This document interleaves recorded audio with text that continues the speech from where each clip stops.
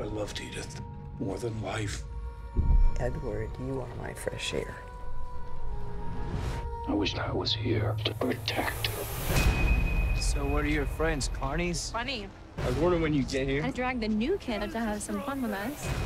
Where are we going? It's an old tradition.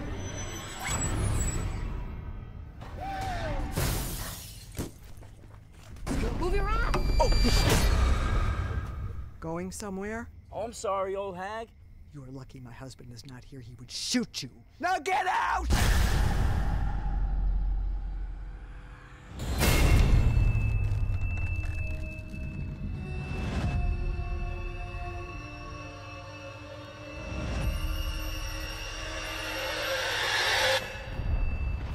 Hello, Christopher. I'm giving you a choice. I'm sorry to hear about your wife.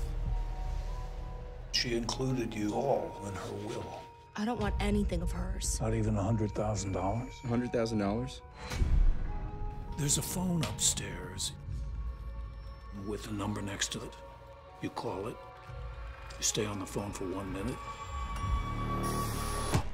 Then the money will be yours in the morning. Who are we calling? My wife. She had me bury a phone with her. Somewhere? She wants to talk to you. Where are you? When I made the call, it was like I was transported. We're all gonna suffer!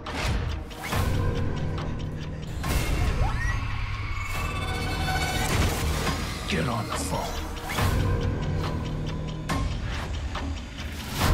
devastating to her. You want vengeance.